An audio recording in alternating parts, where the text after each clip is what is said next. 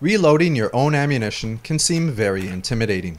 The biggest hurdle is often getting into it in the first place. With hundreds, if not thousands, of equipment options on the market to choose from, many of us don't know where to start. I certainly felt this way when I started reloading. I didn't have a lot of money or space, and I wanted something really uncomplicated. So I went ahead and bought a Lee loader. It cost me all of $26.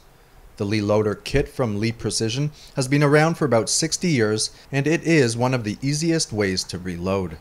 In a way, the Lee Loader is like a reloader's gateway drug. In the past, the Lee Loader was offered in a variety of chamberings, but these days it's available in only the most popular calibers. Each loader comes with all of the items that you'll need to reload. You may want to add a few things over time, but I'll show you how fast and easy it is to reload a 38 special round with the basic kit. So, with everything set out, I take my brass cases out of the range bag and stack them on the table. The first order of business is taking the dead primer out of the case. Put your decapping chamber on your workspace, insert the case, then shove the decapping rod into the case. Give the rod a few taps with your plastic hammer to drive the old primer out.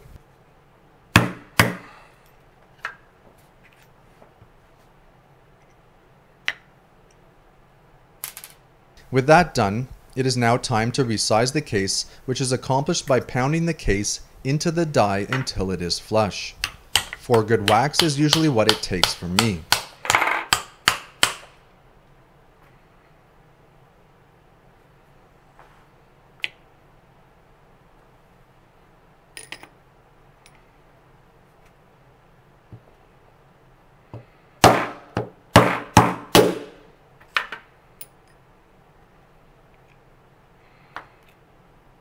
Now it's time to prime the case.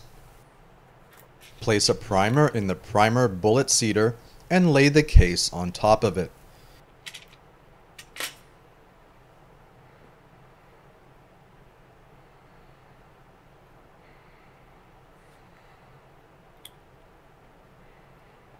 With a few gentle taps, the primer is seated into the case.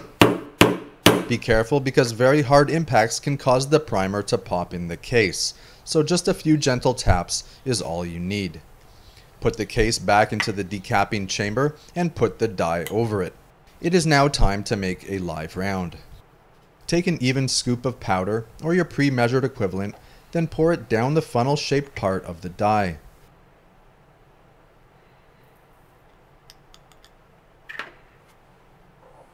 Select a bullet and drop it down into the die. Take your bullet seater and insert it behind the bullet. Tap the seater with your hammer sharply until the seater stops.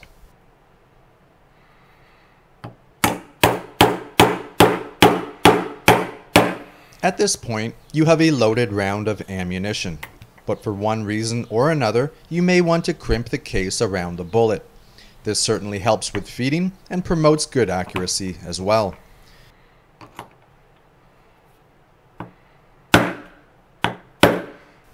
And there you have it. With some practice, all of this gets a lot easier. Some of you may want to do things slightly differently than me, and that's fine. Over time, you can even add a few items to make things easier. The Lee loader is not without its quirks. As you can see, it's very basic, but it does work and I love using it to load a few rounds to go down and shoot off at the range. For $30, it's hard to go wrong with this reloader. Please read the full review where we go into much more detail about the quirks, additional items I bought, loading different calibers, and everything else I've learned using the Lee loader for many years now.